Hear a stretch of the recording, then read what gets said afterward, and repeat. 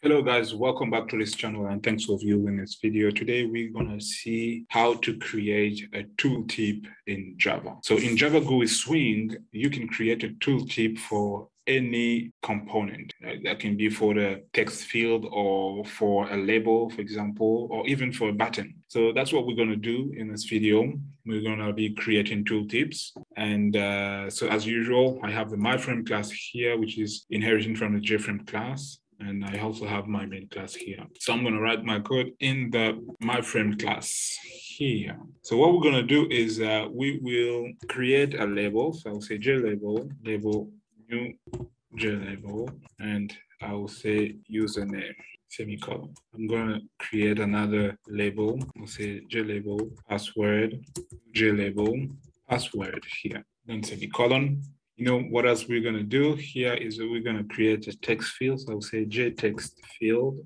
I'll say text field one. I'll call this text field, just text field. New J text field and then semicolon. So I need to import the J text field class. So this, this particular text field will be used for the username and I'm going to say j password field. I'll say password field like this. New jpassword field, then import the jpassword field. All right, so now I need to set the bounds for these labels. So this one I will say username here. So that will be user name that set bounds 100, 100, 150. I'll copy, to do for the password here. I'll change password. So y-axis I'll say 150 like this. Now, you know, I'll set the bounds for the text field here. So I'll say text field, set bounds. So I'll say 200 like this, paste it down here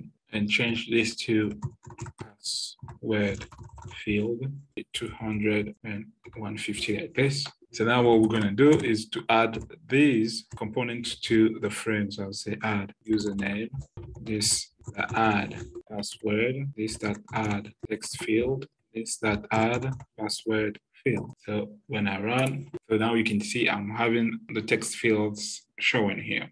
Uh, I can reduce these, I can say 150 here or 200. So now if you want to add a tooltip, let's say, for example, to this text field, for example, how do you do that? So you simply come here and say text field that set tooltip text and say enter your username here. So if I do that and come here, run a program, so now you can see now you can see the tooltip that is showing, okay? So whenever my cursor comes on the component, it shows the tooltip. So I can also do that for password field, simply copy paste. I'm gonna change this to password field and say, enter your password here, run, Now you see, enter your password here. So we can actually even do that for the label. So for the label here, I'm gonna say username that set tooltip and uh, I will write this is the username label. So let me run. So now you can see this is a username label.